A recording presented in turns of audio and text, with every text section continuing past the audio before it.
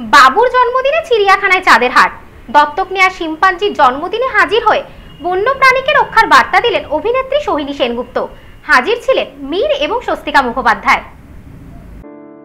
বাবুর জন্মদিন কলকাতা চিড়িয়াখানায়। রীতিমতো চাঁদের হাট। দু দুটি কেক কেটে বাবুর চৌত্রিশতম জন্মদিন পালন। জন্মদিন পালনের মুহূর্তে উপস্থিত সোহিনী সেনগুপ্ত, মীর, স্বস্তিকা মুখোপাধ্যায়, সপ্তর্ষি মৌলিক সহ অন্যান্যরা। এদিন সকাল থেকেই আলিপুর চিড়িয়াখানায় শিম্পাঞ্জি বাবুর জন্মদিন উপলক্ষে ভিড় জমিয়েছিলেন বহু সাধারণ মানুষ। বাবুকে একবার দেখবার জন্যে তার এনক্লোজারের সামনে লম্বা লাইন লক্ষ্য করা গেছে। বাবুর জন্মদিন উপলক্ষে তার এনক্লোজার সাজিয়ে তোলা হয় চিড়িয়াখানা কর্তৃপক্ষের উদ্যোগে। চিড়িয়াখানার অন্যতম জনপ্রিয় বাবু নামের এই শিম্পাঞ্জিকে বেশ কয়েক বছর আগে দত্তক নেন নাট্য ব্যক্তিত্ব সোহিনী সেনগুপ্ত এবং সপ্তর্ষি মৌলিক। এদিন তারাও সামিল হয়েছিলেন বাবুর জন্মদিনের পার্টিতে। জন্মদিনের পার্টিতে হাজির ছিলেন মীর ও স্বস্তিকা মুখোপাধ্যায়। কেক কেটে জন্মদিন পালন করার পর সিঙ্গেল বাবুর জন্য মেয়ে খোঁজার কথাও বলেন মীর। পাশাপাশি বন্যপ্রাণকে ভালোবাসার বার্তা দিয়ে তিনি বলেন, জু ডিরেক্টর আশিস সামন্তকে অসংখ্য ধন্যবাদ। যেরকম একটা বিশেষ উদ্যোগ তিনি বেশ কয়েক বছর ধরে চালিয়ে যাচ্ছেন। আমরা জানি লকডাউনের সময়ে যেখানে মানুষজনের সঙ্গে কমপ্লিটলি কোনো দেখা সাক্ষাৎ হয়নি বাবুর, ভীষণ মন খারাপ হয়ে গিয়েছিল। আজকে এত মানুষ আপনারা মিডিয়া তরফ থেকে এসেছেন আরও বেশি করে লোকজন জানতে পারবেন যে বাবুর আজকে থার্টি ফোর্থ চৌত্রিশ বছর কমপ্লিট করল। জন্য মেয়ে খুঁজতে হবে মানে খুবই ইন্টারেস্টিং একটা সময়। একটু ছোট একটু ছোট। এবং এখানে জানি না কতজন সিঙ্গেল আছেন বাবুও সিঙ্গেল যদি একটু সিঙ্গেল মিঙ্গেল হয়ে যায় দিদির পারমিশন নিতে হবে সৈনী সেনগুপ্ত এক্ষেত্রে ও দিদি। বাবু একটু আগে সবাইকে এন্টারটেন করেছে অনেক কিছু ছুঁড়েও মেরেছে। কিন্তু আমরাও বাবুর দিকে ছুঁড়ে মারতে চাই প্রচুর ভালোবাসা। ওই প্লাস্টিকের ক্যান বোতল চিপসের প্যাকেট এগুলো ছুঁড়ে মারবো না। এগুলোতে কষ্ট হয় ওরা ডিস্ট্র্যাক্টেড হয়।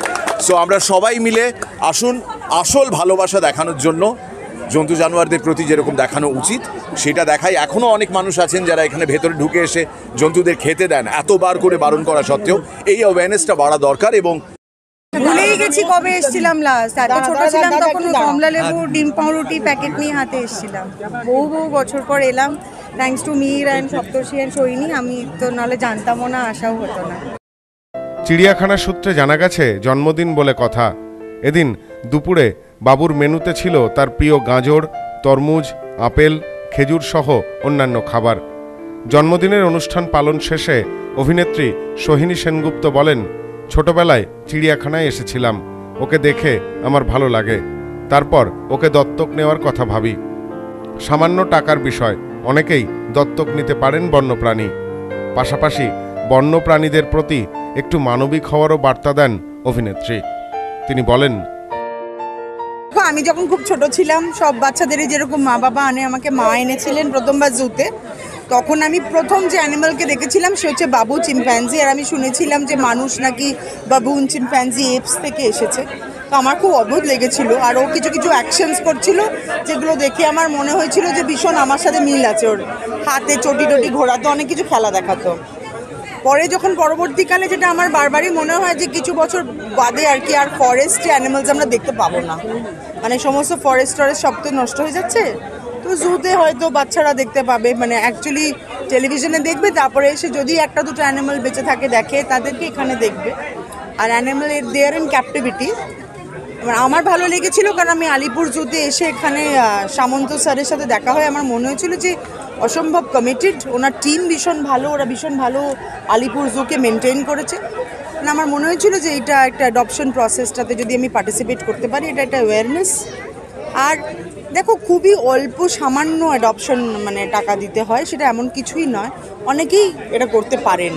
এটা একটা অ্যাওয়ারনেস টুয়ার্ডস অ্যানিমালস অনেকে অনেক কিছু বলেন, আমাকে বলেন যে কেন বা হিউম্যান বেবিসদের কেন কেন- তো ব্যাপারটা হচ্ছে যে সবাইকার জন্যই করা উচিত। হিউম্যান অ্যানিমালস সবাইকে একটুখানি কাইন্ডনেস দেখাতে মানে বেশি কিছু তো লাগে না।